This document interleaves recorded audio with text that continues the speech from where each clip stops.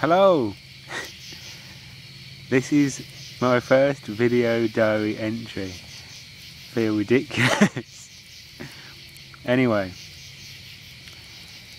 we've been camping in Bear Mountain National Park with Scott and it's been fairly routine of getting up in the morning, cooking breakfast of porridge, uh, cooking lunch, and then cooking dinner and going to bed.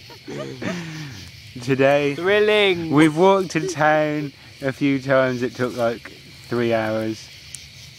Uh, today, me and Robyn went to Bear Mountain Inn to get on Wi-Fi, uh, and on the way back, we saw a big one and a half meter long black snake and then we told Scott about it and then when we got to our campsite we saw another one and a half meter long black snake. The same snake.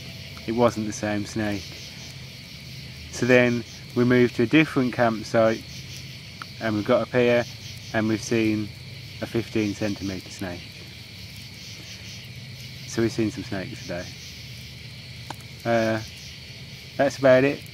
I'll try and keep this up better than I have my written diary. Speak to you tomorrow.